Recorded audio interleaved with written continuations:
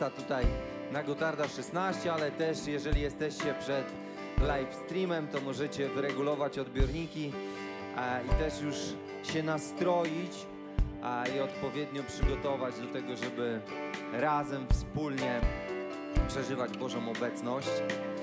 Cieszę się, że mogę Was widzieć i takim hasłem przewodnim dzisiejszego e, dnia są dla mnie wakacje, bo w piątek jadąc sobie na, na jeden ślub widziałem masę dzieciaków ubranych bardzo elegancko i od razu, od razu miałem taki sygnał, aha, kończy się rok szkolny, kończy się rok szkolny, kończy się czas wysiłku, wytężonej pracy i tysiące dzieciaków roześmianych wybiegają ze szkoły i rozpoczynają wakacje. I Pamiętam jak jeszcze niedawno, jak dosłownie przed chwilą rozpoczynaliśmy ten rok szkolny tutaj, a teraz go zakończamy, rozpoczynają się wakacje i pewnie wakacje to jest wspaniały czas dla dzieci, każde dziecko marzy o okresie wakacji, ale z moich rozmów i z takiej mini sondy zrobionej wśród rodziców, to jest raczej dla rodziców taki czas, na który oni nie czekają. Oni raczej czekają na koniec wakacji, więc są takie e, grupy sprzecznych interesów. Ale wierzę, że my tu w kościele godzimy to wszystko, dlatego że dobra informacja brzmi, że od relacji nie ma wakacji, od relacji nie ma wakacji, a szczególnie od relacji z Panem Bogiem nie chcemy sobie robić jakiejś przerwy. Wręcz przeciwnie, wykorzystujemy każdy czas wolny, tak jak na przykład ten długi weekend, który mieliśmy we Władysławowie. Wykorzystujemy wolne soboty, tak jak wczoraj, po to, żeby być razem ze sobą i fajnie było na spływie i spędziliśmy prawie cały dzień na wspaniałej rzece Kra. Mogliśmy się zrelaksować, mogliśmy się razem poznać. Wykorzystujemy każdą wolną chwilę do tego, żeby budować relacje między sobą, ale wierzę też, że każda wolna chwila, a tym bardziej okres wakacji jest doskonałym czasem, żeby jeszcze bardziej wzmocnić, jeszcze bardziej pogłębić, jeszcze więcej czasu poświęcić na budowanie relacji z Panem Bogiem i absolutnie w tym miejscu, w tej społeczności nie robimy sobie przerwy od relacji, nie robimy sobie przerwy od społeczności z Panem Bogiem. I wierzę, że ten dzisiejszy dzień będzie przede wszystkim dniem radości. Radości, bo dzieci się radują z wakacji, radości, bo rodzice cieszą się, że będą mieli więcej czasu z dziećmi, ale też przede wszystkim radości dla Kościoła, radości, którą Bóg wlewa w nas, że możemy po raz kolejny społecznie spotkać się z Bogiem. Dlatego zachęcam Was, abyśmy powstali.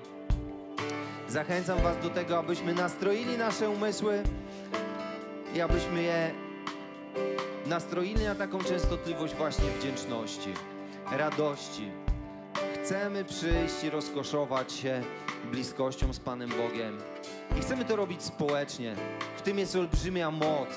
W tym jest olbrzymia, wielka tajemnica, którą Bóg nam objawił. Że Bóg buduje swój Kościół. Że Bóg powołuje swój Kościół. I że Bóg jest obecny w zgromadzeniu swojego kościoła, w zgromadzeniu swojego ludu. I On jest tutaj obecny i chcemy Go teraz przywitać. Witamy Cię, Duchu Święty. Jesteśmy tak wdzięczni, że jesteś między nami, że nie zostaliśmy sierotami, że Ty, Jezu, nas nie porzuciłeś, ale wręcz przeciwnie, dałeś nam swojego opiekuna, dałeś nam swojego ducha, że możemy, Panie, czuć się zaopiekowani, możemy czuć, Panie, Twoją silną rękę, Twoje silne ramię, że Ty będziesz nas że Ty dzisiaj będziesz mówił do nas, że Ty będziesz dzisiaj dotykał naszego serca. Wierzę, że już to zacząłeś robić. Chcemy, Panie, dzisiaj skupić się przede wszystkim na Tobie. Panie, odciąć się od całego tygodnia, od tego wszystkiego, co działo się w tygodniu. Skupić się na Tobie. Skupić się na Twojej świętej obecności. Wypowiadać słowa dziękczynienia, podnosić nasze ręce w geście poddania, w geście takiego uniżenia i w geście takiej wdzięczności. Panie, chcemy dzisiaj całym swoim ciałem, całym swoim umysłem, całą swoją duszą, całym swoim jestestwem przybliżać się do Ciebie. Tak bardzo dziękować Ci za to, że mamy Ciebie, że Ty jesteś sednem naszego życia. Panie, w każdej słowie tych piosenek, które będziemy śpiewać, przyjmij chwałę, bo Ty jesteś godzien chwały i absolutnie nie chcemy sobie robić przerwy od relacji z Tobą, ale wręcz przeciwnie, wykorzystać tą chwilę, aby połączyć się, aby nasz duch łączył się z Twoim duchem, aby czerpać siłę. Tak bardzo Cię kochamy. Dzisiaj składam u Twych stóp własną dumę, własny trud. Podaję wszystko Tobie, podaję wszystko Tobie. Dzisiaj składam u Twych stóp każde kłamstwo, każdy ból. Podaję wszystko Tobie. Przyjmij dziś to,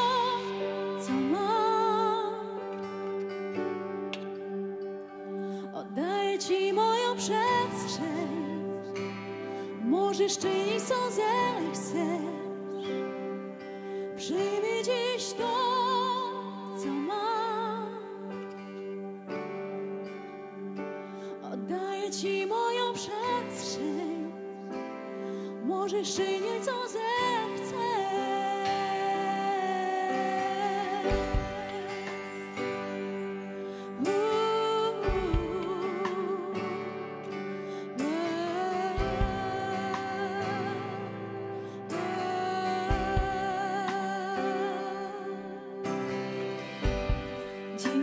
składam u Twych stóp własną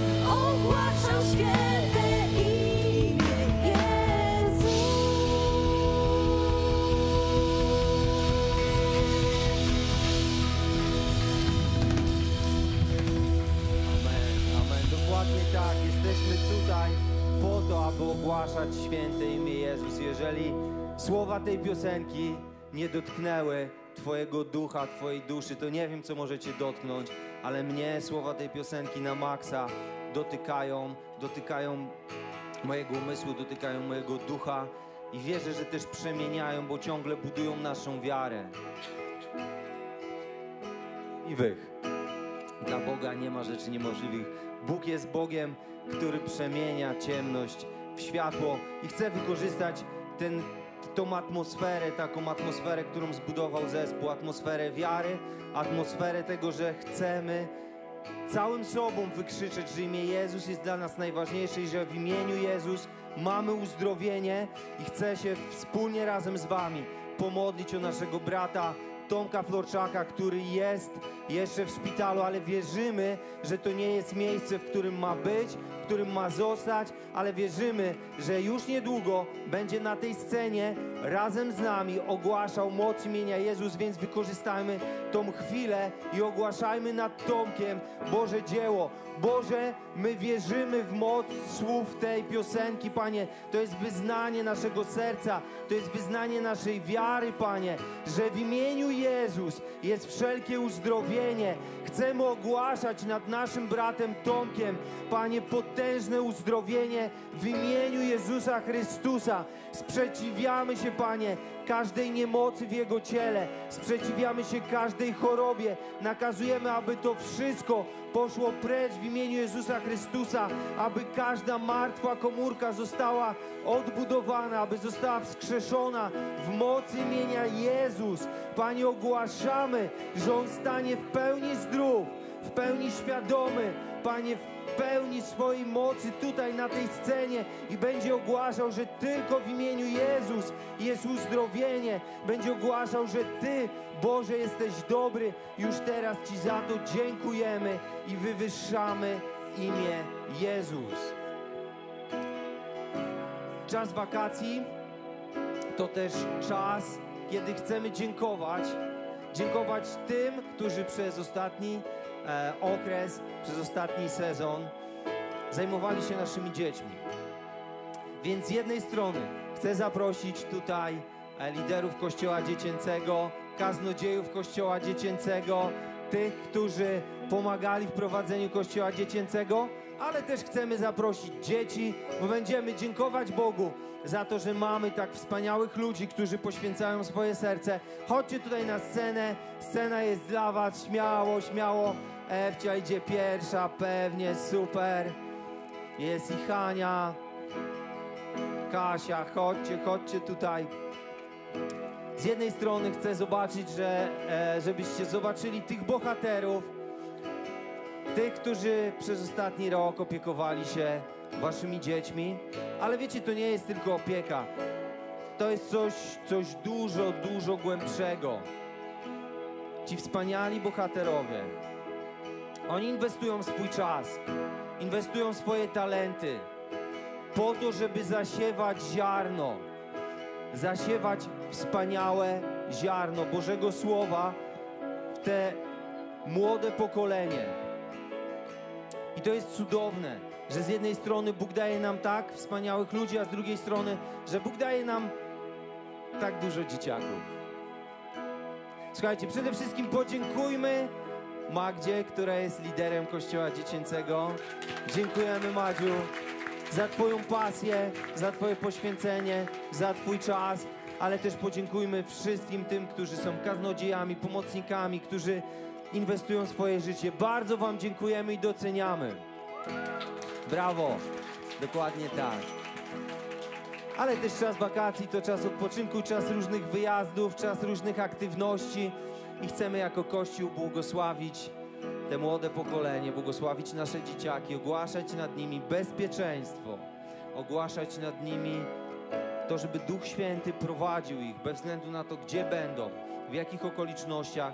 Wierzymy, że Duch Święty jest z nimi i chcemy jako społeczność, jako ich bracia i siostry wyciągać swoje ręce błogosławić, aby ten czas wakacji był wspaniałym czasem budowania nowych relacji, budowania relacji z Panem Bogiem. Duchu Święty chcemy ogłaszać błogosławieństwo nad tymi dzieciakami.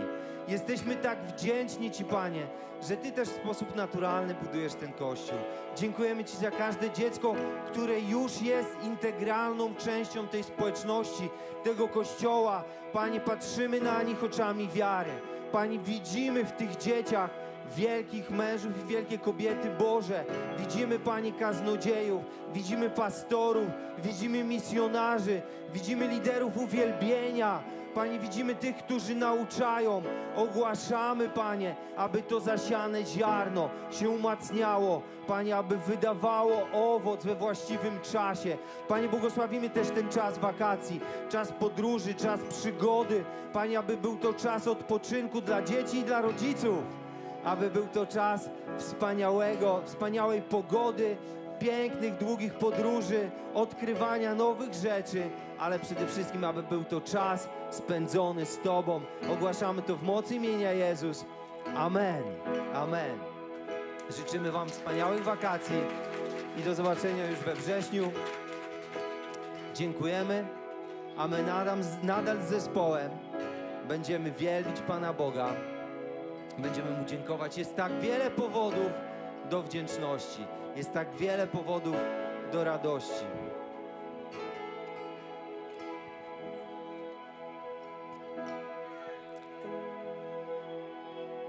Panie, dziękujemy za to, że możemy być Twoimi dziećmi, że my również jesteśmy dziećmi, Panie, przed Tobą. Dzięki Ci, Panie, za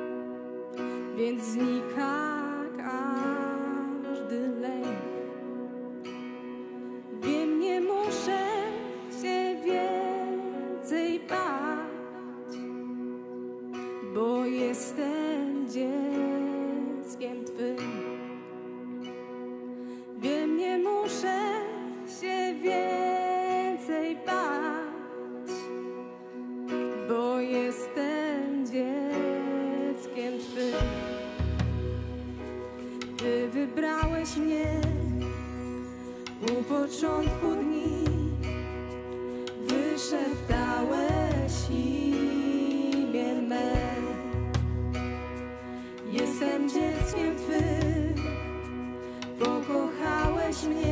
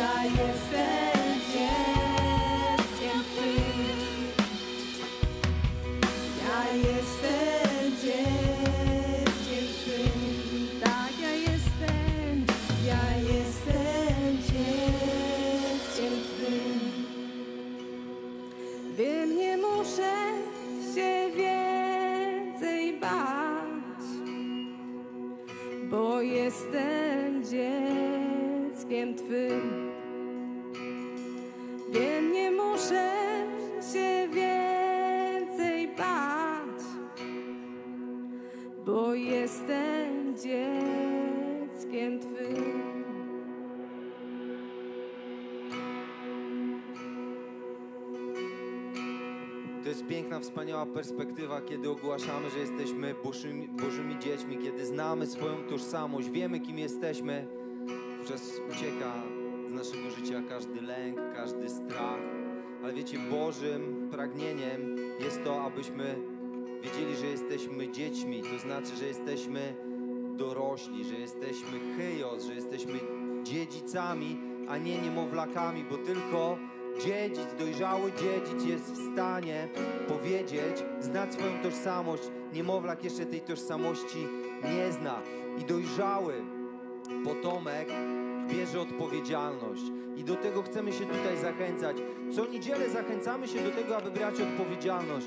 Dlaczego to robimy z uporem maniaka? Mówimy to co tydzień, dlatego że tak bardzo zależy nam, zależy mi jako pastorowi, abyście przechodzili ten proces od bycia niemowlakiem do bycia dojrzałym dziedzicem. Chyjos, tym, który wie kim jest, tym, który wchodzi w posiadanie, w dziedzictwo. I zachęcam do tego, aby brać odpowiedzialność w kilku obszarach. Przede wszystkim, żebyśmy brali odpowiedzialność w modlitwie, w duchowej walce za tą społeczność. My jako pastorzy potrzebujemy waszego modlitewnego wsparcia. Jako liderzy tego kościoła, jako Rada Liderów potrzebujemy waszego wsparcia. Zachęcamy do tego, abyście trwali w modlitwie, ogłaszali błogosławieństwo abyśmy też społecznie pojawiali się w miejscach, gdzie budujemy naszą wiarę, gdzie modlimy się. Zachęcamy do tego, abyście brali odpowiedzialność i abyście dołączali do miejsc, w których możecie służyć, w których możecie dojrzewać, w których możecie pokazywać, że jesteście częścią tej społeczności, że dokładacie swoją rękę do tego pługa. Jeżeli jesteś w tej społeczności od jakiegoś czasu, ale jeżeli jeszcze do tej pory nie wziąłeś odpowiedzialności, to chcę Ci powiedzieć, że już, je- już jest ten czas. Jest ten czas, żeby dołączyć do którejś służb. Mamy około 30 paru różnych aktywności i brakuje nam właśnie Ciebie. Potrzebujesz tego, aby rozwijać się w dojrzałości, aby stawać się chyjos. A jeżeli jesteś od wielu lat jeszcze, jeszcze nie wziąłeś niczego, nie stałeś się odpowiedzialny, to zastanów się, gdzie jesteś na tej linii od niemowlaka do dojrzałego dziedzica. ale też chcemy brać odpowiedzialność w bardzo, bardzo wymierny sposób, nie tylko dzieląc się naszymi talentami, nie tylko dzieląc się naszym czasem, ale również dzieląc się naszymi finansami. Od, od samego konceptu, od samego pomysłu, e, kiedy myśleliśmy o zakładaniu Kościoła Dom, myśleliśmy o tym, że chcemy być hojni. I od samego początku hojnie dawaliśmy, dlatego ta, ta społeczność powstała. I hojnie, hojnie ciągle dajemy. Więc w tej chwili przejdą się wolontariusze, którzy zbiorą wasze dobrowolne zrzutki, to co będziecie chcieli dać z hojnego serca, z radosnego serca na działalność tej społeczności. Chcemy mieć tyle, abyśmy mogli błogosławić i ciągle mamy tyle, że błogosławimy innych, błogosławimy potrzebujących, błogosławimy inne społeczności. Bóg to niewiele bierze i pomnaża i to jest piękne, to jest cudowne, wspaniale, że możemy uczestniczyć, uczestniczyć z Bogiem w takiej pięknej podróży, ale mamy przed sobą też bardzo konkretny cel. Wierzę, że Bóg zapełnił to miejsce nieprzypadkowo, dlatego że chce wysłać nas do kolejnego, większego, dużo większego miejsca. I chcemy się o to modlić, dlatego mamy, odpaliliśmy na okres co najmniej wakacji, albo, ale pewnie i dłużej, wspólną modlitwę i wspólny post. Możecie się do tego zapisywać. Bardzo, wam za, bardzo Was zachęcam, żebyście jeden dzień w tygodniu poświęcili na post i modlitwę, abyśmy znaleźli nowe miejsce, aby Bóg nas zaopatrzył, abyśmy zdobyli naszą kolejną twierdzę w ziemi obiecanej i wierzę, że Bóg ma dla nas olbrzymie miejsce, piękne miejsce, miejsce, w którym będzie przestrzeń dla kościoła dziecięcego, miejsce olbrzymiej kawiarni, gdzie nie będziemy musieli się cisnąć, gdzie nie będzie aż tak dużego gwaru, gdzie będą przestrzenie, gdzie można usiąść i w ciszy i w spokoju sobie porozmawiać. Ale wierzę też, że będzie duża sala, gdzie będzie, będziemy mogli pomieścić nie setki, ale tysiące. I to jest Boża wola i chcemy się teraz o to pomodlić. Panie Boże, błogosławimy to ziarno, które teraz zebraliśmy, Panie. Ty je pomnażaj. Panie, wierzymy, że zasiewamy w Twoje królestwo. Panie, to jest najlepsza inwestycja. Panie, ta inwestycja jest zawsze trafiona. Panie, nigdy nie możemy na niej stracić. Panie, zawsze Ty to pomnażasz. Ty jesteś gwarantem tej inwestycji. Panie, błogosławimy też ten projekt, ten pomysł, Panie, te nowe miejsce, abyś Ty w mocy swojego ducha nam to objawił, abyś dał nam zaopatrzenie, abyś dał nam właściwych ludzi, abyś dał nam mądrość do tego w takiej uniżoności, Panie, w takiej pokorze przychodzimy, ale też z radością i wiarą, że Ty już to masz dla nas. Ogłaszamy to. Amen. Amen. Możemy usiąść. Przed nami kolejny, kolejny punkt naszego spotkania. Kazanie. Jesteśmy w wspaniałej serii Da- Dary Jezusa i chcę tej chwili poprosić e, na scenę Mateusza, ale też chcę powiedzieć, że jestem bardzo szczęśliwy, że Ania i Mateusz, te wspaniałe małżeństwo, są razem z nami. Wiecie, oni są dużo dłużej niż powstał ten kościół. My jeszcze wspólnie razem prowadziliśmy służbę studencką. Od dobrych kilkunastu lat są wiernie z nami, e, prowadzą małżeństwa, prowadzą różne służby, usługują i e, zachęcam Was po prostu, żebyście patrzyli na takie małżeństwa jak, jak Ania i Mateusz. Oni nie są doskonali, bo nie jesteśmy doskonałymi ludźmi, ale są wspaniałym wzorem do tego, jak można inwestować w Boże Królestwo, jak można przy tym czerpać radość, jak można mieć wspaniałą rodzinę, wspaniałych dzieci.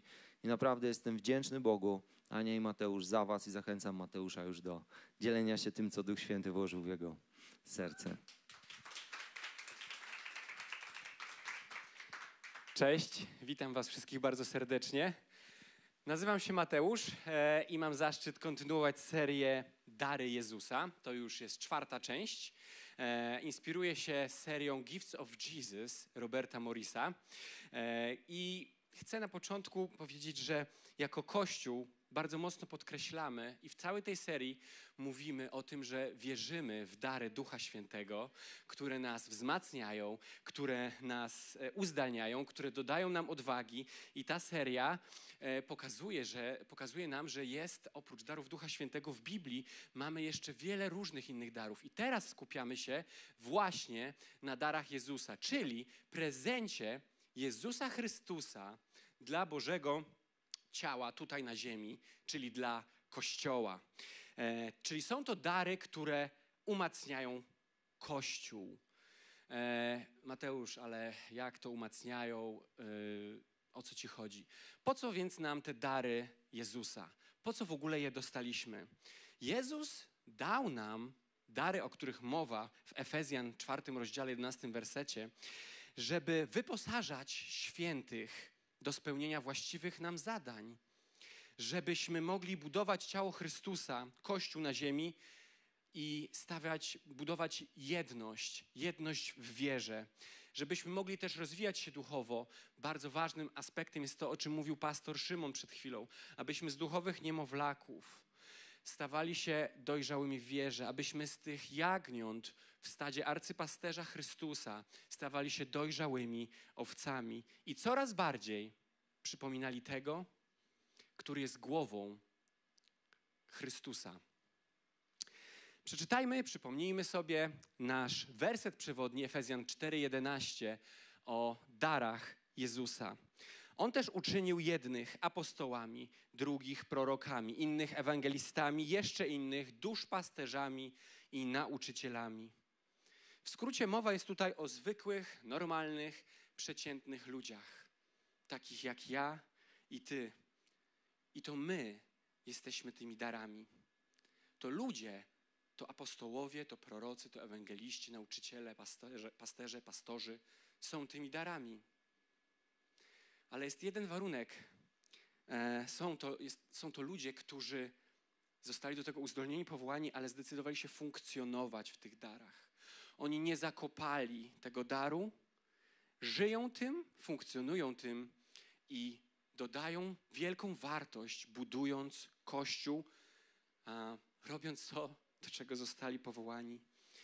Więc chcę, żebyście patrzyli na te aspekty, kiedy mówię o darach Jezusa, nie, nie, wyobrażali sobie tak jak, nie wiem, na kreskówkach jakieś żółte pudełeczko z różową, z czerwoną wstążeczką. Te dary to są ludzie. To jesteście wy, to jestem ja, to jesteśmy my dla siebie nawzajem. Jesteśmy dla siebie prezentami. Musimy mieć na uwadze, że Kościół Chrystusa nie jest zwykłą ludzką organizacją. To nie jest tak, że ten werset to jest slajd z PowerPointa jakiejś korporacji, gdzie jest pokazane drzewo i hierarchia organizacyjna. Mamy do czynienia z czymś o wiele większym, wykraczającym poza nasze zrozumienie i poza nasz umysł. Ale jasno jest zdefiniowane to, że Chrystus powołał na ziemi Kościół i dał mu wszelkie narzędzia, żeby mógł funkcjonować i rozwijać się tutaj na ziemi. I to właśnie dary Chrystusa są filarem i napędzają ten Kościół, który jest prowadzony przede wszystkim i um, inspirowany przez Chrystusa, który jest jego głową, który jest arcypasterzem.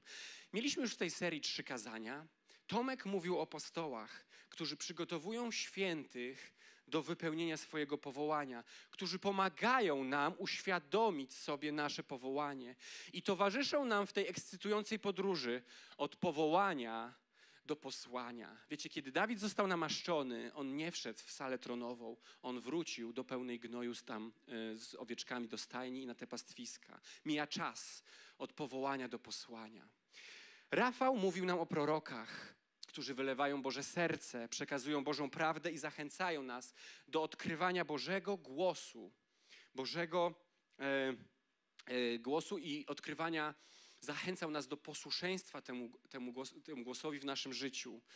Mówił o prorokach, którzy zachęcają nas do budowania Bożego Królestwa, którzy też konfrontują nas i wprost mówią o konsekwencjach naszego nieposłuszeństwa, kiedy odwracamy się od Chrystusa.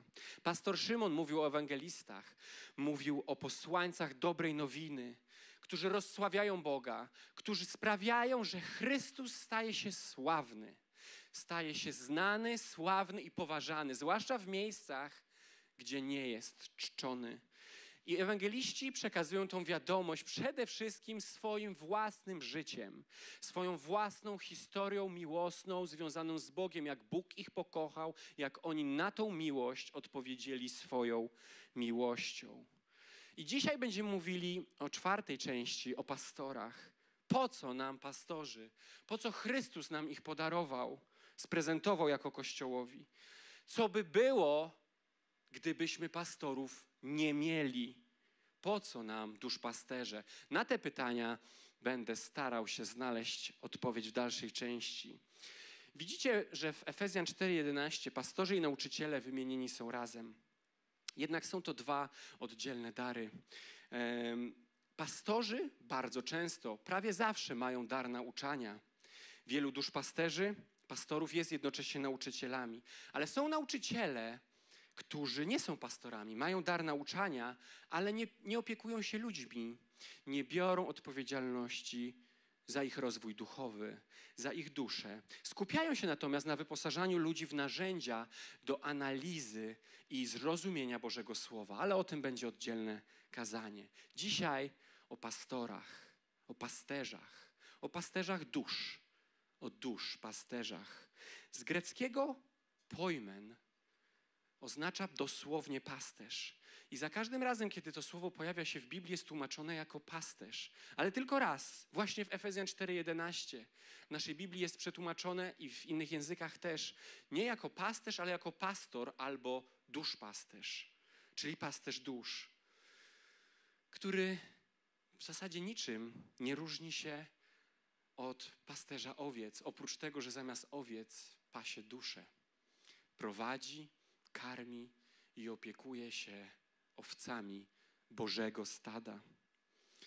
Jezus więc podarował Kościołowi pastorów, pasterzy dusz, po to, żeby mogli nas prowadzić, żeby mogli nas karmić, żeby mm, dbali o nasz rozwój duchowy, żeby zaopatrywali nasze rany, żeby towarzyszyli nam w procesie uleczenia, żeby pocieszali strapionych, ale i konfrontowali tych, którzy czują się ustabilizowani, czują się komfortowo, żeby rzucali wyzwanie, które prowadzi do naszego rozwoju. Widzicie, że rola pastora jest bardzo, bardzo potrzebna, bo tutaj na ziemi dba o rozwój ciała Chrystusa, o rozwój Kościoła, czyli o stado należące do arcypasterza, należące do Chrystusa. On uczestniczy i nadzoruje ten proces przemiany, o której już słyszeliśmy. Proces przemiany z duchowych niemowląt w dojrzałych chrześcijan, proces niemowląt z jagniąt w dojrzałe owce. Chrystus rozmawia z Piotrem, to jest bardzo słynny fragment w Biblii, nie będę go całego przytaczał, kiedy trzykrotnie pyta Piotra, czy go kocha, używając innych znaczeń słowa miłość. Nad samym tym fragmentem moglibyśmy spędzić całą, poświęcić całą serię. Dlatego nie chcę się zagłębiać w nic więcej niż na odpowiedzi Chrystusa na zapewnienia o miłości Piotra. On za pierwszym razem, Chrystus instruuje Piotra i mówi mu, skoro mnie kochasz, to paś moje baranki, moje jagnięta. Za drugim razem mówi mu, skoro mnie kochasz, opiekuj się więc moimi owcami. I za trzecim razem mówi: Paś więc moje owce. Widzicie tu powołanie Piotra do tego, żeby wziął odpowiedzialność i zaopiekował się Bożym stadem. Tak samo pastor karmi te jagniątka, baranki nowonarodzonych chrześcijan. Ten pierwsze polecenie Chrystusa wykonuje. Wykonuje drugie polecenie Chrystusa, opiekuje, opiekując się czyimi? Chrystusowymi owcami. I pasie też dojrzałych chrześcijan, konfrontując ich, rzucając im wyzwania do dalszego rozwoju, żeby brali coraz większą odpowiedzialność. Po co to wszystko? Po co mamy dbać o ten rozwój? To nie jest rozwój sam dla siebie, żeby zdobywać kolejne medale czy kolejne poziomy. W Efezjan 4:14 czytamy: Nie bądźmy więc jak małe dzieci, które dają się unosić porywom rzekomej nauki lub zmanipulowanej teologii, tworzonej przez zwodzicieli specjalizujących się we wszelkiego rodzaju oszustwach. Niestety są oni wytrenowani, wytrenowani w przebiegłym zwodzeniu i niezwykle w nim skuteczni. Mowa tu o małych dzieciach. Wiecie, sam mam małe dzieci i wielokrotnie nie jestem w stanie powstrzymać się, żeby w co się wkręcić, w co się nabrać. E, Same starsze zaczynają wkręcać młodsze.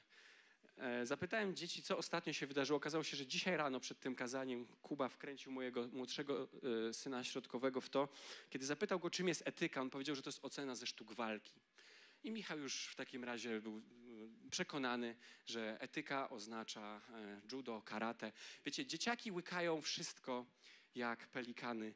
E, można im mówić dowolne triki matematyczne, wiecie, jakieś takie banalne sztuczki i po prostu są zachwycone, że to działa. I o ileż wydawać nam się może to słodkie, w przypadku wiary jest to bardzo, bardzo niebezpieczne.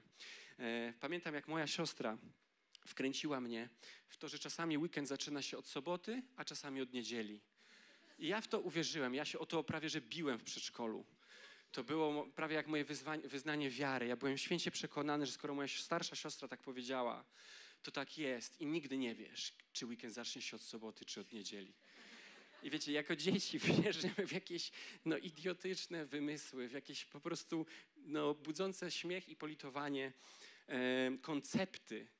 Ale jest realne niebezpieczeństwo, że tak samo młodzi wierze, chrześcijanie, jagnięta, niemowlęta duchowe mogą uwierzyć w zmanipulowaną teologię. I właśnie pasterzy, pastorzy opiekujący się stadem Chrystusa jako podstawowe pierwsze zadanie, ich podstawowym pierwszym zadaniem ich przyprowadzać i zaznajamiać ich z Chrystusem, żeby poznały Boży głos, żeby poznały Bożą naturę, żeby poznały Boży charakter, Jego osobę i najważniejsze, w całości znały Bożą Ewangelię, Jego przesłanie i Jego naukę, tak żeby nikt nie mógł przyjść i w żadną szczelinę nie zasiać jakiegoś zwątpienia, przekrętu albo manipulacji. Wiecie, mm, ludzie, którzy mm, zajmują stanowiska kasjerów w bankach albo zajmują się gotówką, muszą doskonale wiedzieć, jak wygląda oryginał. Inaczej ich firma, ich bank może być narażony na bardzo poważne straty. I muszą to robić szybko, ponieważ jest kolejka wpłacających i muszą rozpoznawać te banknoty w sposób idealny. I ci ludzie nie są szkoleni w ten sposób, że mają klaser z wszystkimi do tej pory wychwyconymi podróbkami, fałszywkami. A tak się podrabia znak wodny, a tak się podrabia, podrabia hologram, a tak się podrabia nitki, które są zatopione w papierze. Nie. W ogóle nie patrzą na te falsyfikaty. One są natychmiast wyrzucane i palone. Wiecie, co one robią? Oni spędzają wiele, wiele godzin, żeby przyglądać się, analizować i dotykać oryginał. Prześwietlają go różnym rodzajem promieniowania, sprawdzają je pod różnym kątem, dotykają, sprawdzają, czy są nadrukowane odpowiednie wypukłości. Znają ten oryginał na wylot. Tak samo my musimy być zaznajomieni z naszym arcypasterzem, z Chrystusem, z Jego nauką. Ale to zajmuje czas. I pastorzy, aż wyrywa się ich serce do tego, żeby ludzi karmić, żeby karmić ich nauką Chrystusa, tą niezachwianą, tą niezanieczyszczoną, tą czystą Ewangelią, tak żeby kiedy przyjdzie moment próby, kiedy przyjdzie zasiane, będzie zasiane ziarno przez zwodziciela o tym, że może coś jest inaczej, oni będą wiedzieli, że nie, że Chrystus by tak nie powiedział.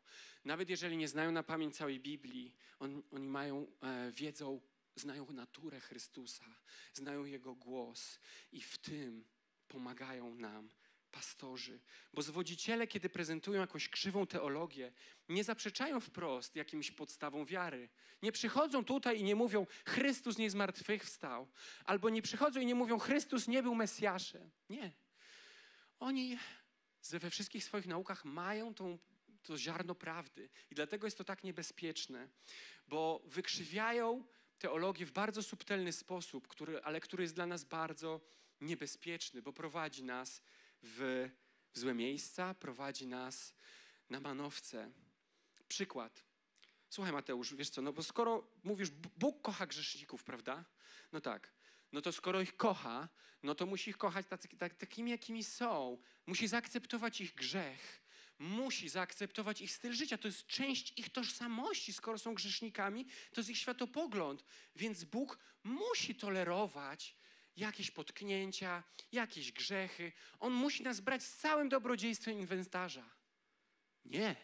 Bóg mówi bardzo wyraźnie w Biblii, że kocha wszystkich ludzi i kocha grzeszników, ale nienawidzi grzechu. I to nie my ustalamy reguły, ale Bóg, który stworzył świat. I On mówi wprost, że brzydzi się grzechem i wszelką nieprawością. I nie możemy naginać Jego słów, Jego teologii, dlatego tylko, żebyśmy się poczuli lepiej albo próbowali zrobić Ewangelię bardzo, bardziej przystępną. To jest najgorsza rzecz, jakiej Bóg nienawidzi. Po prostu przekłamywania i zmiany Jego słów, Jego przesłania.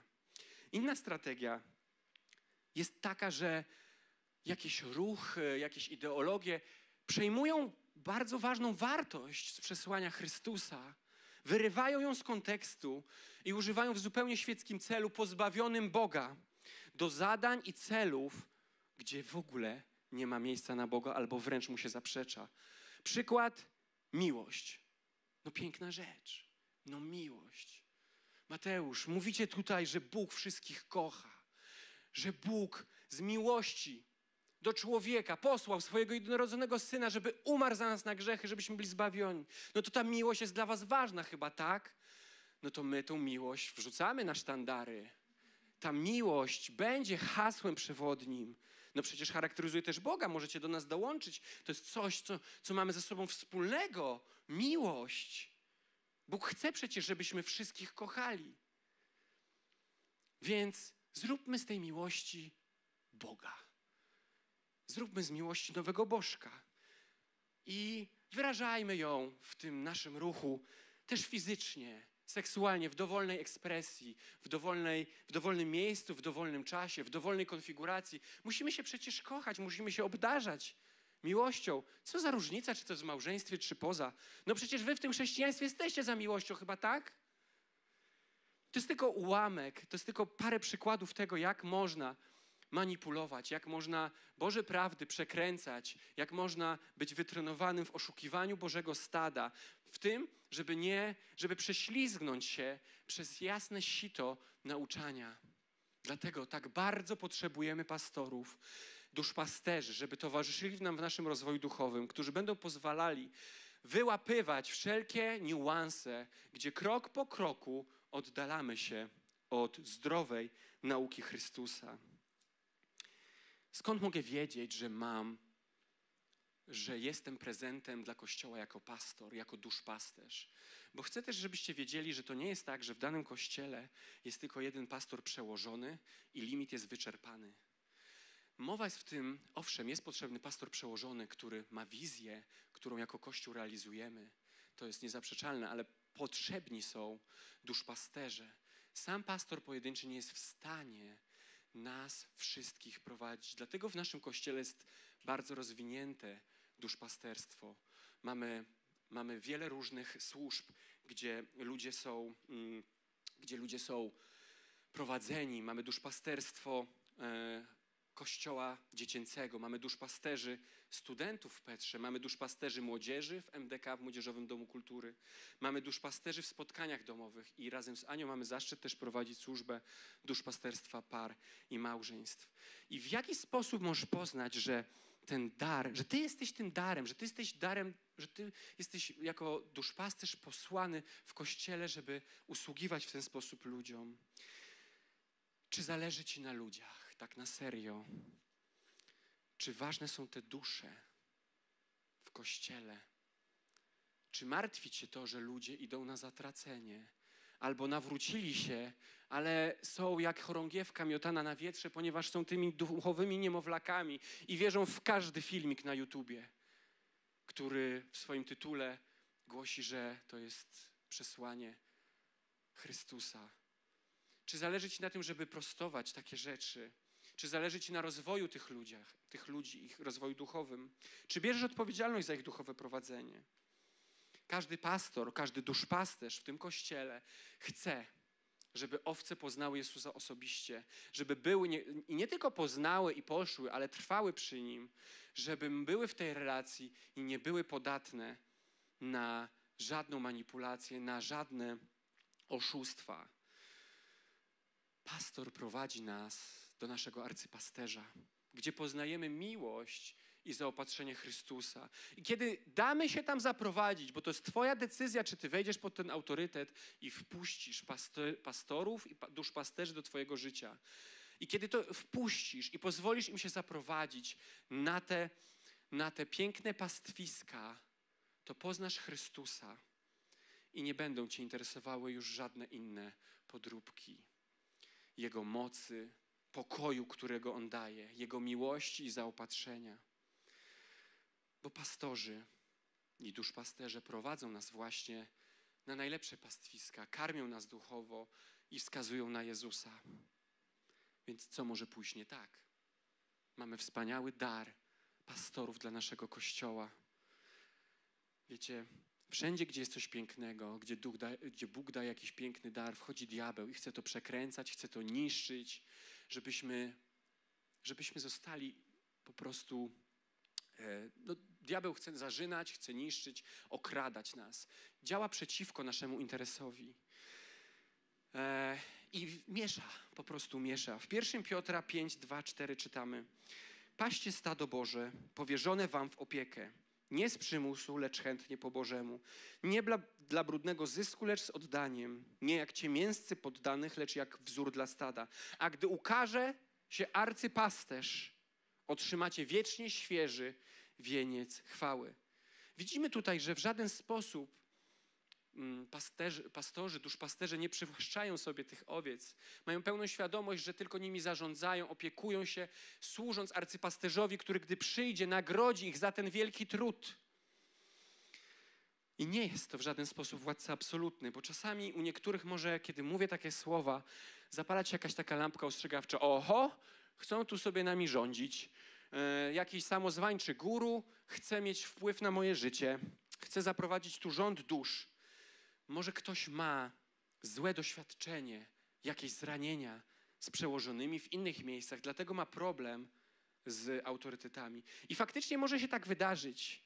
I czytałem historię pastorów, duszpasterzy, którzy upadają. Jest to bardzo smutne dla nas. Jest to, jest to sukces diabła, który chce mieszać i wie, że rozproszy stado, kiedy uderzy w duszpasterzy i pastorów. I dlatego będziemy na koniec się modlili o ich ochronę i o ich zaopatrzenie, bo jest to nasz, jako Kościoła, newralgiczny punkt. I zależy nam na tym, żeby nasi pastorzy mieli odwagę i mieli ochronę, żeby mogli realizować swoje powołanie. Bo, kiedy, bo diabeł dobrze wie, że kiedy uderzy w pastora, zbuduje zły PR, powstaną jakieś dziwne dokumentalne firm, filmy o tym, jak, jak, jak, jak chrześcijaństwo jest niebezpieczne i złe. Na przykładzie jednego czy dwóch ludzi, którzy się potknęli. Jakie to jest smutne. Ale słyszałem kiedyś, rozmawialiśmy z pastorem Szymonem i pamiętam, to już było wiele lat temu, powiedział mi, że faktycznie w tych wszystkich historiach, jako duszpasterze i pastorzy musimy uważać, bo pierwszym kamykiem, o który się potykamy, jest brak Bożej bojaźni. Kiedy my zaczynamy, e, przestajemy, e, przestaniemy, przestajemy czuć taką zdrową bojaźń wobec Boga jako Stwórcy Wszechświata, jako tego najważniejszego arcypasterza, kiedy myślimy, że my to już możemy, że my to jesteśmy już odporni, wtedy pastorzy upadają. I czytamy o tym artykuły i nie chcemy, żeby to miało miejsce, żeby żaden, żaden pastor więcej się nie potykał. Chcemy się o to dzisiaj modlić. E, I być może tacy pod, ludzie, którzy się gdzieś tam potknęli, gdzieś tam pogubili, zaczę, przestali szanować owce, których do nich nie należą i sprawili, że niektórzy mogli nabrać niechęci do autorytetów, mogli zostać poranieni. Um, czytamy w Dziejach Apostolskich 20-38 wezwanie do duszpasterzy. Uważajcie na samych siebie. Uważajcie na samych siebie i na całą trzodę, w której was Duch Święty ustanowił przełożonymi. Nie ma tutaj wątpliwości. Dbajcie o to, aby paść Kościół Boga, który sobie nabył własną krwią. Wiecie, to nie jest coś takiego, że arcypasterz zostawił tę trzodę i tam róbcie sobie co chcecie. Jest napisane, że to jest po pierwsze Kościół Boga, a po drugie wysoką cenę za niego zapłacił, więc absolutnie nie jest mu wszystko jedno, kto się tymi owcami opiekuje. I jest jasne w tym wersecie, że trzoda ma swoich przełożonych, ma swoich pastorów, którzy biorą za to odpowiedzialność i będą z tego rozliczeni. Ludzie bezwzględnie w tym kościele i we wszystkich ewangelicznie wierzących kościołach są i należą do stada arcypasterza. Nie ma na tym, nie, nie ma pytania o to. Jednocześnie są wyznaczeni przełożeni, którzy prowadzą ich w tym rozwoju duchowym i troszczą się o ich duszę. Wielokrotnie w Biblii prze, przewija się to, że Chrystus mówi, że to jest Jego Kościół, że to są Jego owce, że On jest arcypasterzem przełożonym nad pasterzami. Ta hierarchia jest jasna. Jesteśmy bezpieczni, kiedy jesteśmy posłuszni i poddajemy się autorytetom, które, które ustanawia Chrystus. Czytamy w Mateusza 16, 18. Oświadczam Ci, Ty jesteś kamieniem, a na tej skale zbuduję mój Kościół, mówi Chrystus, i potęga śmierci nie zdoła go pokonać. Tu nikt nie buduje swojego własnego królestewka. Tu nikt nie buduje swojego własnego księstwa. Wszystko, cały Kościół należy do Chrystusa, ale powołał On ludzi, obdarował Kościół prezentem, którym jest pastor, którym są pasterze i duszpasterze, którzy, którzy dla naszego dobra się nami opiekują i o nas dbają. Pastorzy według Bożego Serca nigdy nie powiedzą mój Kościół, moje owce, moi ludzie. No, arcypasterz nie byłby zadowolony, kiedy menedżer, zarządca przywłaszcza sobie wartość i to wielką wartość, którą nabył własną krwią dla siebie.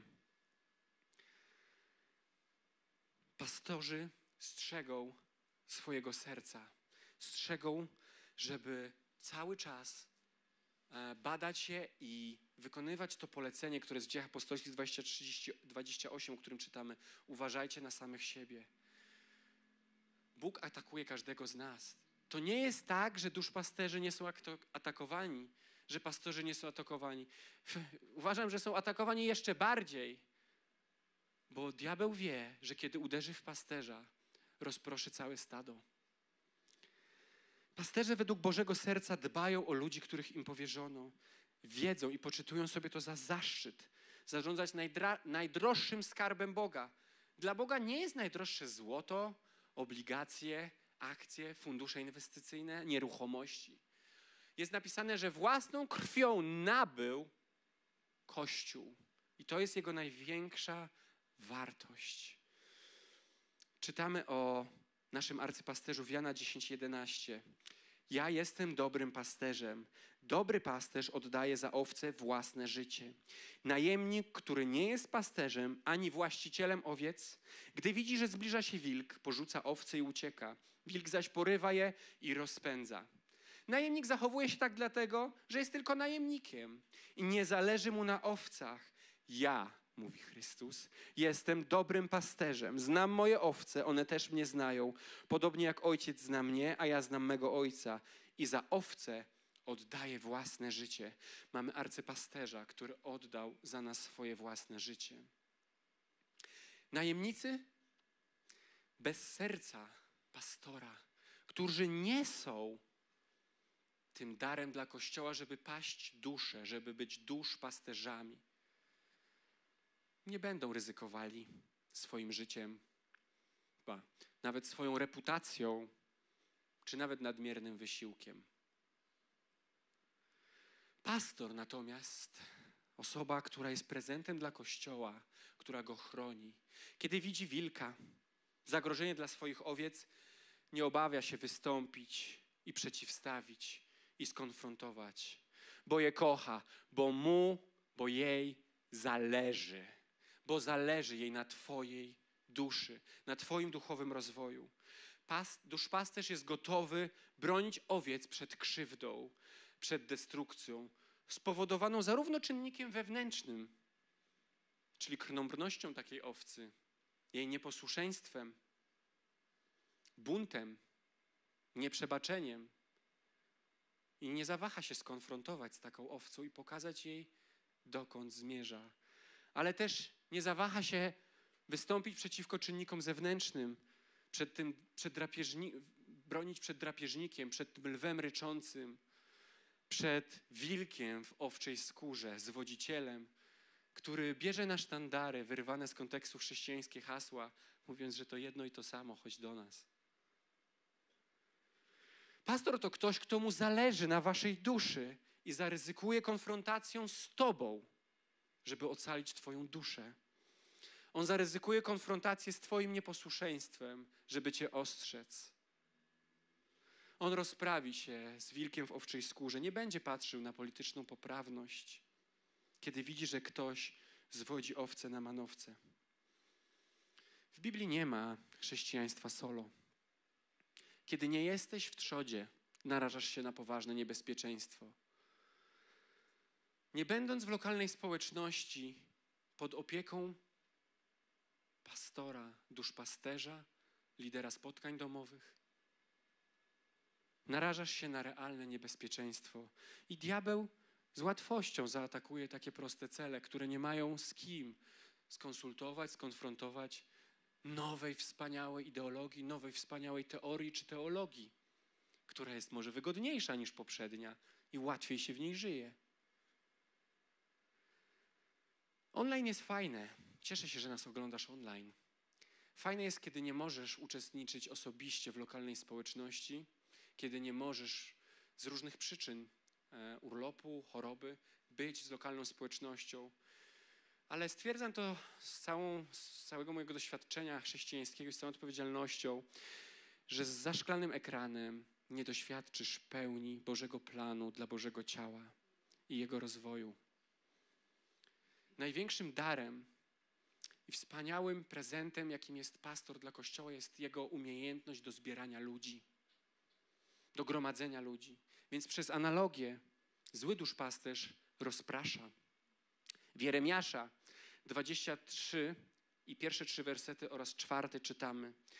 Biada pasterzom, oświadcza Pan, którzy gubią i rozpraszają owce mojego pastwiska. Dlatego tak mówi Pan Bóg Izraela o pasterzach pasących mój lud. To wy rozproszyliście moje owce i rozpędziliście je. Nie zajmowaliście się nimi. Dlatego ja zajmę się wami za wasze złe czyny. Punkt czwarty, werset czwarty. Ustanowię im także pasterzy.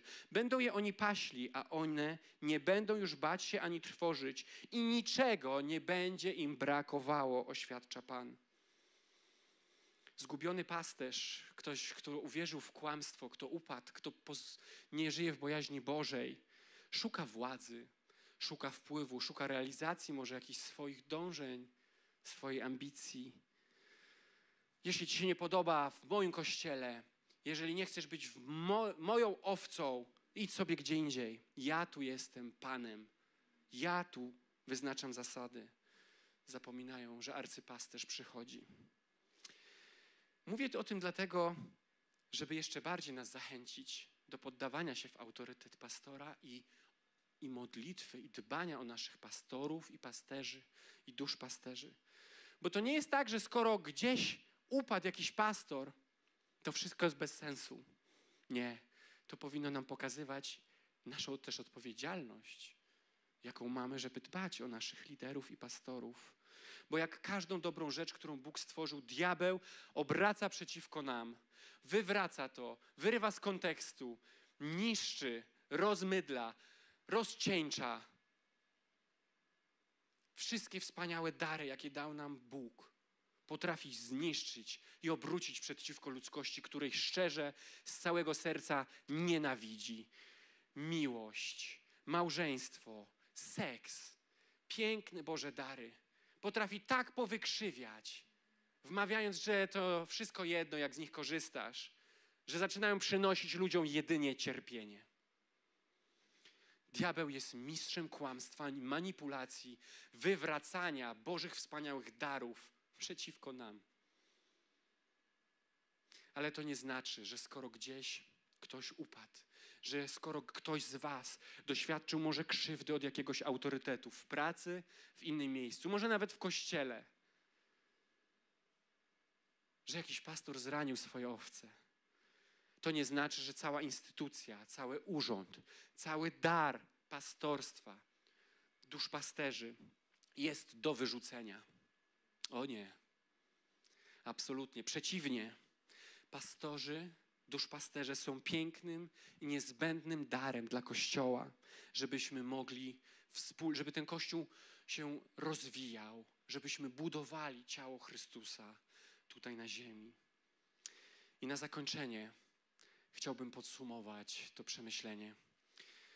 Chciałbym e, zadać pytanie, jak wrócić do tego, jak manifestuje się obdarowanie pastora, duszpasterza.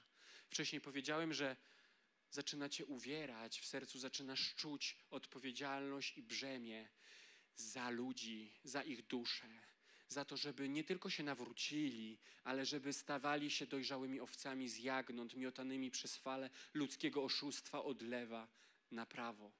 Zależy ci na tym, żeby ludzie wzrastali w zdrowej nauce. Jest jeszcze coś. W Marka 6:34 czytamy, co sprawia, jak wkracza do akcji serce pasterza. O Jezusie. Gdy więc wyszedł, zobaczył wielki tłum ludzi i zlitował się. Zlitował się nad nimi, bo byli jak owce bez pasterza. A potem zaczął ich uczyć wielu rzeczy. Zlitował się nad nimi, bo widział, że są bez pasterza i zaczął ich uczyć. Dzisiaj też są owce, które się błąkają, które desperacko szukają kierunku, które desperacko szukają pożywienia i dobrych pastwisk, karmią się losowymi filmikami znalezionymi na YouTubie. Czy Ciebie to obchodzi? Czy Ciebie to obchodzi? Wielkie jest żniwo. Mało robotników, wiele jest owiec. Brakuje pasterzy. Może masz wielką wiedzę teologiczną, może jesteś wspaniałym nauczycielem.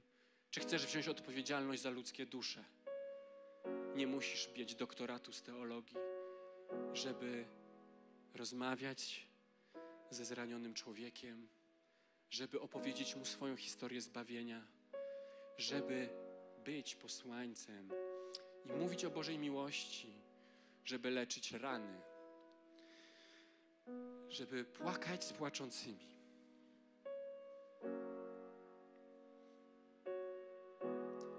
Czy zakopałeś ten dar? Jestem przekonany, że na tej sali wie, siedzi wiele, wiele duszpasterzy, którzy nie, nie podjęli tego wyzwania. I są owce, którzy, które biegają, meczą, beczą, potrzebują Ciebie, żebyś wziął odpowiedzialność. Nie musisz brać odpowiedzialności jako pastor przełożony za wielki kościół. W swoim otoczeniu zaproponuj, że będziesz ludzi podnosił, że będziesz, kiedy są strapieni, przynosił im werset, Boże Słowo. Zacznij od swojej rodziny. Wierzę, że każdego rodzica Bóg powołuje do tego, żeby był duszpasterzem w swoim domu. Zacznij od tego, jak rozwój duchowy w Twoim domu wygląda. Czy wziąłeś za to odpowiedzialność? Czy przerzuciłeś to na kościół dziecięcy, myśląc, że sprawa jest załatwiona? Owszem, wolontariusze w kościele dziecięcym są niesamowitymi duszpasterzami i karmią te jagniątka, ale potrzebują też rodziców. Zastanów się i odpowiedz sobie na pytanie, jak, za kogo możesz wziąć odpowiedzialność. Może za jedną osobę, może w pracy, za kolegę, koleżankę, który przechodzi trudny czas. I to ty tam jesteś, i to ty wiesz o tych problemach, i to ty możesz wziąć tą osobę na dobre pastwiska. Owce błąkają się, szukają i nawołują. Szukają pasterza. Jezus, kiedy to zobaczył, zlitował się nad tym, odpowiedział na tą potrzebę i zaczął ich nauczać. Te głodne, nieogarnięte owce. Czy porusza cię obraz ludzi tułających się bez celu, bez kierunku, bez wizji, pogrążonych w problemach? Czy smuci cię obraz ludzi żyjących poza swoim powołaniem, w kościele i poza nim? Czy wzrusza cię, smuci i czujesz gniew, kiedy widzisz, że ludzie żyją poniżej swojego potencjału i obdarowań? Może masz, może to ty jesteś prezentem dla Kościoła, żeby wziąć odpowiedzialność najpierw za jedną duszę, potem za kolejne. Bóg dał nam wspaniałą obietnicę. W Jeremiasza 3,15 czytamy: Dam wam pasterzy. Jakich pasterzy? Pasterzy według mojego serca i będą się o was troszczyć dobrze i rozumnie. Bóg daje nam pasterzy według swojego serca. Im autentycznie zależy, oni płaczą nad losem błąkających się bez celu owiec, które żyją poza swoim powołaniem, poniżej swojego potencjału i obdarowań. Oni będą nas prowadzić dobrze i rozumnie. Przestań się obawiać. Przestań się obawiać. Zadaj sobie teraz pytanie, Duchu Święty, co Ty mówisz do mnie w temacie pas- duszpasterstwa, w temacie pastora, w temacie pastorów. Może muszę komuś przebaczyć, żeby znów zaufać autorytetom. Może się gdzieś naciąłeś. Nie musisz wracać do tego człowieka, nie musisz wracać pod jego przewodnictwo, skoro cię zawiódł. Ale dla swojego dobra i dla swojego własnego błogosławieństwa wzywam cię, wybacz mu. To jest decyzja. Ty tego nie czujesz, że chcesz mu wybaczyć. To jest decyzja, którą możesz podjąć dla swojego dobra, żebyś mógł zaufać duszpasterzom i pastorom w Twoim otoczeniu, w Twoim kościele, bo oni są wybrani, przełożeni nad nami według Bożego serca i będą się nami troszczyć dobrze i rozumnie. Podejmuj decyzję, że przełamiesz swój bunt i dumę i będziesz posłuszny arcypasterzowi Jezusowi. Może myślisz sobie, ja jestem w stadzie Jezusa, ja, jestem, ja mam arcypasterza. Skoro tak, to słuchaj, co On mówi do Ciebie, bo mówi bardzo jasno, że powołał na ziemi przełożonych, pastorów duszpasterzy, którzy się będą Tobie opiekowali. On wprost mówi o, pos- o potrzebie pastora. Ba, nawet jako prezent dla Kościoła daje pastorów. Daj się zaopiekować lokalnemu pasterzowi, lokalnej społeczności, który za swoją, za, za wykonanie tej służby ponosi odpowiedzialność i odpowie przed Bogiem z tego, jak się Tobą zajął. Ale najpierw daj mu szansę. Jak ma się Tobą zająć, skoro w buncie mówisz, że jesteś wolnym człowiekiem, nie masz zamiaru nikogo wpuszczać do swojego życia, nikt nie będzie mówił do Twojego życia i nikt Ci nie będzie mówił, co jest dobre, a co jest złe, bo Ty jesteś w stadzie arcypasterza i Ty jesteś solo chrześcijaninem to ja ci mówię, że daleko nie zajedziesz w ten sposób. Jest wiele osób, które w ten sposób stały się rozbitkami w wierze. Zaczynają być podatni na kwestionujące to wszystko ideologie, które krążą wokół nas. Pozwól pastorom, duszpasterzom, żeby cię prowadzili. Żeby cię karmili i rozwijali duchowo. Spotkania domowe, wieczory z Bogiem, kazania spotkania młodzieży, spotkania studentów, spotkania dla dzieci. Pozwól, żeby zaopatrywali Twoje rany. Pozwól, żeby ci ludzie towarzyszyli Ci procesie leczenia, ale musisz im pokazać tą ranę. Jak mają pomóc, skoro nie wiedzą? Przyjdź i powiedz. Pozwól, żeby mogli Cię pocieszać, gdy jesteś strapiony, ale jednocześnie pozwól też, żeby Cię konfrontowali żeby zabezpieczali nie cię tylko przed tymi zewnętrznymi niebezpieczeństwami, ale też mówili do ciebie, kiedy ty jawnie jesteś nieposłuszny Bożemu Słowu, kiedy jesteś tą krnąbną owcą. Pozwól i odpowiedz na ich wołanie. Kiedy widzą, że oddalasz się od arcypasterza. Chciałbym, żebyśmy mieli na koniec teraz czas modlitwy. Żebyśmy mieli czas, kiedy będziemy dziękowali za ten wspaniały dar. To jest piękny dar. Chrystus sprezentował nam pastorów. Chrystus sprezentował nam duszpasterzy. Różnych służb, o których mówiłem. Sprezentował też nam duszpasterski, dał nam dar, jest, mamy obdarowanie, możemy być jako duszpasterze w swojej rodzinie, w swoim otoczeniu, w swojej pracy. Chcę dziękować za ten dar, za tych, którzy nas karmią, prowadzą, troszczą się. Będę teraz błogosławił. Zachęcam Was, żebyście przyłączali się do dziękowania za wdzię- wdzięcz, za taką, e, ogłaszanie wdzięczności Bogu, ale też e, wznoszenie próśb o błogosławieństwo, o mądrość, o odwagę, o niezłomność, o Bożą ochronę, o wizję, o wsparcie Kościoła i zaopatrzenie dla duszpasterzy i pastorów, pastorów przełożonych Kościoła, duszpasterzy i kaznodziejów Kościoła Dziecięcego, duszpasterzy studentów Petry, duszpasterzy młodzieży, Młodzieżowego Domu Kultury, duszpasterzy spotkań domowych i służby duszpa- duszpasterstw par małżeństw. Módlmy się teraz razem. Dołączajcie do mnie. Boże, tak bardzo Ci jestem wdzięczny za to, że nie zostawiłeś nas samych tutaj na ziemi, Boże. Ty dałeś nam wspaniałe dary, Boże. Ty dałeś nam apostołów, Ty dałeś nam, Boże, proroków, ewangelistów, dałeś nam nauczycieli, ale dzisiaj szczególnie dziękuję Ci za pastorów, za duszpasterzy, że poruszasz ich serce, że oni nie są w stanie przejść obojętnie nad pogubionymi owcami, nad ludźmi, którzy błąkają się bez celu, którzy żyją poza swoim powołaniem, poza swoimi uzdolnieniami. Boże, ja dziękuję Ci za to, że dałeś im odwagę do niesienia tak wielkiego ciężaru emocjonalnego, braniu na siebie problemów innych ludzi, do płakania z płaczącymi, do modlenia się z nimi, do poświęcania swojej wygody, swojej czasu, żeby ludzi podnosić, żeby ludzi nauczać, żeby ludzi prowadzić, żeby ludzi rozwijać. Boże, ja dziękuję Ci za pastorów przełożonych, dziękuję Ci za Szymona i Magdę. Dziękuję Ci za to, że obdarowałeś nas takimi wspaniałymi pastorami, którzy roztaczają wizje, które dałeś ich serce, którą możemy razem z nimi realizować, aby ratować zgubionych, Boże. Ja dziękuję Ci za to, że dajesz pastorów i duszpasterzy we wszystkich grupach odniesienia, że możemy razem budować ten kościół. Dziękuję Ci za to, że dzieci są zaopiekowane, Boże.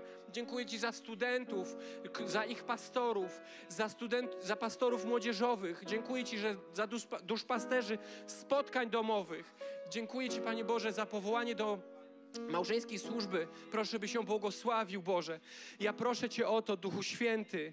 Ty dodawaj nam swojej odwagi, żebyśmy w Twoim ogniu, w Twojej mocy służyli, Boże, zgodnie z naszym powołaniem, żebyśmy podnosili, żebyśmy prowadzili, żebyśmy zbierali, żebyśmy budowali. I w tym miejscu, Boże, ogłaszam Bożą ochronę nad wszystkimi pastorami, duszpasterzami. Ja Cię, Boże, proszę, przydawaj nam mądrości. Jesteśmy zwykłymi ludźmi, którzy po prostu mówimy tak, jestem, którzy czujemy i litujemy się nad owcami, którzy są bez pasterzy, którzy, którym zależy na rozwoju duchowym, Boże. To jest to, co ten dar, który sprezentowałeś, Boże. My chcemy, Boże, służyć Tobie. Boże, ja ogłaszam mądrość dla wszystkich pastorów. Przydawaj nam tego, Boże. Ja proszę Cię o odwagę, Duchu Święty, Ty nas uzdalniaj i dawaj nam moc, kiedy sami jesteśmy słabi, kiedy sami mamy problemy, kiedy sami leżymy. Boże, Ty nas podnoś i pozwalaj nam jeszcze prowadzić innych, mimo naszych problemów własnych, Boże. To tylko możliwe jest dzięki Tobie. Ja proszę Cię o niezłomność, Boże, że przy, kiedy przychodzą burze, kiedy przychodzą potknięcia, kiedy przychodzą problemy, Boże, Ty proszę, żebyś błogosławił duszpasterzy i pastorów i dawał nam ducha niezłomności, do tego, że my chcemy niezłomnie służyć, aż otrzymamy wiecznie świeży wieniec od Ciebie, od arcypasterza, Boże. Ja ogłaszam nad pastorami Bożą ochronę. Wiemy, że diabeł szczególnie atakuje pociskami pastorów i duszpasterzy, żeby, ich, żeby stado się rozproszyło. Boże, sprzeciwiamy się i łamiemy wszelką broń. Czy to jest atak przez chęć władzy, czy to jest atak przez pokusy seksualne, czy to jest atak przez pokusy finansowe, Boże. Ja łamię wszelkie ataki diabelskie na pastorów, duszpasterzy w tej społeczności, ale i globalnym Kościele Jezusa Chrystusa, bo my chcemy chronić ten dar, bo nam jako Kościołowi ten dar jest niezbędny do tego, żebyśmy mogli rozwijać się i rosnąć. Ja Boże, proszę Cię, o to, żebyś kontynuował i przydawał, tak jak do tej pory to robisz, wizję pastorom i duszpasterom do prowadzenia dalej tego kościoła, tej społeczności, żeby mogli ją wspierać. I proszę Cię też o to, żebyś ich zaopatrywał, żeby im jako pastorom, którzy rozdają swoje serce, również niczego nie brakowało. Nie tylko tym owcom, które prowadzą, ale im samym, żebyś ich zaopatrywał tak, żeby ich kielich się przelewał. W imieniu Jezusa Chrystusa. Amen.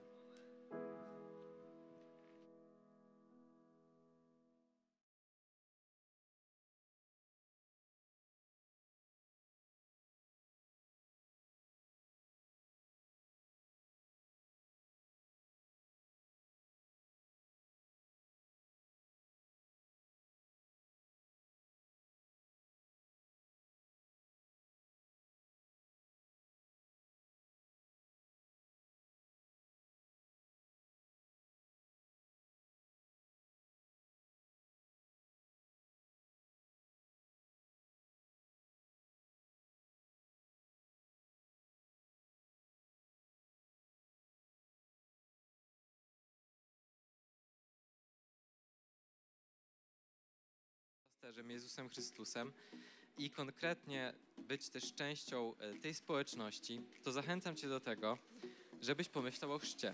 Dlatego, że jeśli to e, jest w Twoim sercu, że chcesz iść za Jezusem w swoim życiu, a jeszcze jako osoba dorosła, jako świadomy dorosły człowiek nie przyjąłeś chrztu wodnego, to to jest tak naprawdę taki pierwszy krok, żeby zacząć na poważnie życie z Jezusem, żeby stać się częścią tej Jego owczarni. Dlatego zachęcam Cię do tego, żebyś porozmawiał ze mną, porozmawiał z Mateuszem, porozmawiał z pastorem Szymonem. Jeśli jeszcze, jeśli jeszcze nie przyjąłeś chrztu, to, to porozmawiaj z nami, a na pewno Cię zachęcimy do tego, żeby to się zmieniło przy najbliższej okazji e, w, tym, w tej naszej społeczności Kościoła Dom.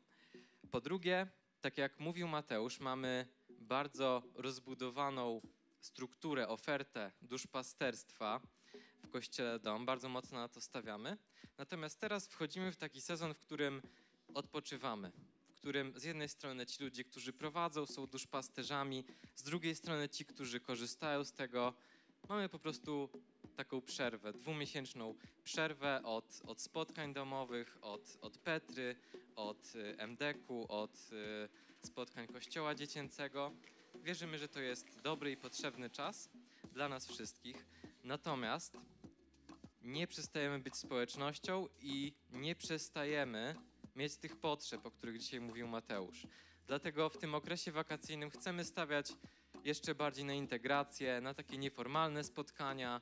We wtorki, w każdy wtorek mamy siatkówkę, domową siatkówkę, podczas której możemy budować relacje, właśnie wspólnie grając, wspólnie grając piłkę siatkową. E, mamy takie inicjatywy jak spływ kajakowy, który wczoraj miał miejsce i dużo, dużo innych. Dlatego zachęcam Was, żebyście zintegrowali się, żebyście integrowali się z, ze społecznością, z tym ciałem, lokalnym ciałem Jezusa Chrystusa przez ten okres wakacyjny, kiedy, kiedy, nie mamy, e, kiedy nie mamy spotkań domowych, kiedy nie mamy takich regularnych naszych aktywności i wykorzystajcie ten czas, to jest takie wyzwanie dla każdego z nas, żeby być pomocą w tym procesie duszpasterstwa. Jeśli już postawiliście kilka kroków na tej drodze z Bogiem, to możecie zachęcić inne osoby, zacząć myśleć o tym, żeby e, zachęcić kogoś wersetem, zachęcić kogoś streszczeniem kazania, które was poruszyło, zachęcić do e, sprawdzenia Spotify czy, czy YouTube'a Kościoła Dom, e, osoby, która jest może zupełnie świeża, żeby posłuchała tego, co już tutaj było kiedyś głoszone, było opowiadane o Jezusie Chrystusie z tej sceny. Dlatego zachęcam Was do tego, żebyście podjęli właśnie tego rodzaju wyzwanie, żeby stać się pomocą w tym okresie wakacyjnym dla kogoś w takiej ścieżce duchowego rozwoju. Przypominam, że cały czas, tak jak mówił pastor Szymon wcześniej, zbieramy na nowy dom. To jest bardzo konkretne wyzwanie dla nas jako, jako społeczności, po to, żeby jeszcze więcej ludzi, którzy teraz są gdzieś w tym świecie, są jak te zbłąkane owce, mogło znaleźć się w owczarni Jezusa Chrystusa, znaleźć swój duchowy dom w tej społeczności. Potrzebujemy po prostu więcej miejsca, dlatego jeśli chcesz się do tego dołożyć, chcesz w bardzo konkretny sposób zawalczyć o nowy dom, o nowy lokal dla Kościoła Dom, to zachęcam Cię do tego, żebyś e, podzielił się swoimi finansami poprzez e, złożenie takiej ofiary w terminalu, który jest dostępny w księgarni, e, poprzez również przelew. Ale na koniec, zupełnie już na koniec, tak naprawdę najważniejsze ogłoszenie. Chciałbym z tego miejsca przywitać wszystkich naszych gości, dlatego że czy wakacje, czy nie wakacje, w Kościele Dom kochamy gości. Jeśli jesteś dzisiaj po raz pierwszy, to podnieś proszę teraz w górę swoją rękę, podnieś na chwilę swoją rękę do góry, jeśli jesteś dzisiaj po raz pierwszy, a nasi wolontariusze, którzy czekają już z tyłu z prezentami, wręczą Ci właśnie taki miły upominek, żebyś dobrze o nas myślał, żebyś dobrze wspominał tą wizytę u nas. Bardzo się cieszymy, że jesteś. Koniecznie porozmawiajmy, kiedy już zaraz będziemy w kawiarni wspólnie pić kawę i poznajmy się lepiej. Życzę Wam wszystkim, życzę nam wszystkim dobrego tygodnia, pełnego dbania o swój rozwój duchowy, pełnego e, świadomego podążania za Jezusem Chrystusem, ale też pełnego odpoczynku, pełnego słońca. Życzę Wam dobrej niedzieli i do zobaczenia.